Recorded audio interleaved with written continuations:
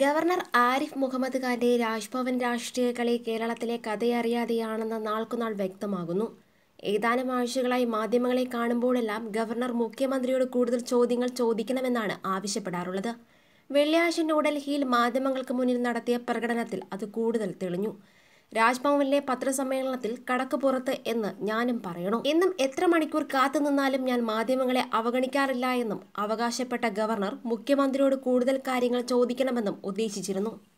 എന്നാൽ വെള്ളിയാഴ്ച ന്യൂഡൽഹിയിൽ ഗവർണറെ കാണാൻ ചെന്ന മലയാള മാധ്യമ പ്രവർത്തകരെ അപമാനിച്ചാണ് ഗവർണർ കടന്നുപോയത്. തട്ടിക്കയറിയ ആരിഫ് മുഹമ്മദ് ഖാൻ ഇനി നിങ്ങളോട് പ്രതികരിക്കാനില്ലെന്നും കയർത്തു. മുഖ്യമന്ത്രി കാര്യങ്ങൾ വിശദീകരിച്ചപ്പോൾ ചോദ്യങ്ങൾ ഉന്നയിക്കാത്തതുകൊണ്ടാണത്രേ ഈ നീരസം.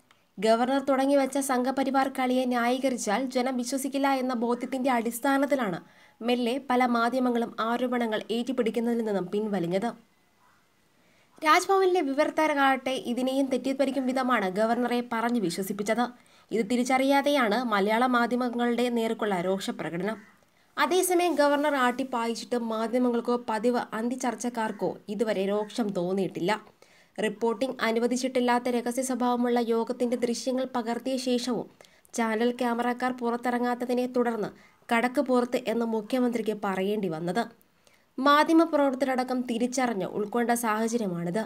മുഖ്യമന്ത്രി അടക്കമുള്ളവരോട് ചോദ്യങ്ങൾ ഉന്നയിക്കുന്നതിൽ നിന്നും ഒരു ഘട്ടത്തിൽ പിന്നിൽ പോയവരല്ല കേരളത്തിലെ മാധ്യമപ്രവർത്തകർ. സ്വർണക്കടത്ത് അടക്കമുള്ളവുമായി ബന്ധപ്പെട്ട അടിസ്ഥാനമില്ലാത്ത കാര്യങ്ങൾ ഉന്നയിച്ച് മുഖ്യമന്ത്രിയെ കുരുക്കാനും ചില മാധ്യമങ്ങൾ നിരന്തരം ശ്രമിച്ചു.